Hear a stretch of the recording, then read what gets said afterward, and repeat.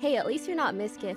Holy shit, even in my worst moments, like as I said earlier, moments where I don't even want to exist, or I'm just crying every night repeatedly for many days, I just think to myself, at least I'm not Mizkif and everything is better.